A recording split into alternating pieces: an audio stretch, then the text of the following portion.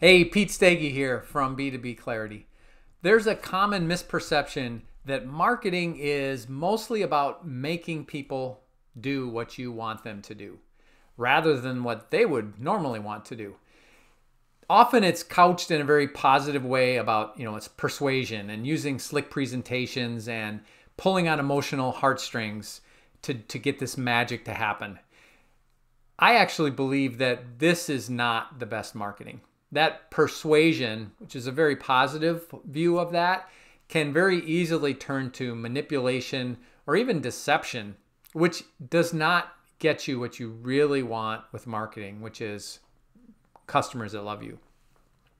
Seth Godin wrote a post a few months back called An Alternative to Hustle, and he described hustling as um, exaggerating things, social pressure, using social pressure uh, and even interrupting them at oppor- inopportune times with, with what you want to happen.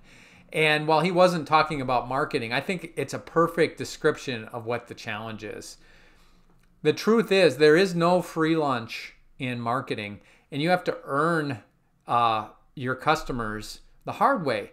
And the hard way is not to get, you know, make customers out of nothing. The hard way and the best way is to go with the energy and find the customers that should be yours. How you do that is rather than focusing on pushing or pulling them, you want to focus on responding to them. So find the people that you know you can help, the people that really need what you're creating, and tell them how you can help them. Be authentic, be honest, and then, better yet, actually help them. Don't wait until they buy from you. Share some of that goodness before they even pay you.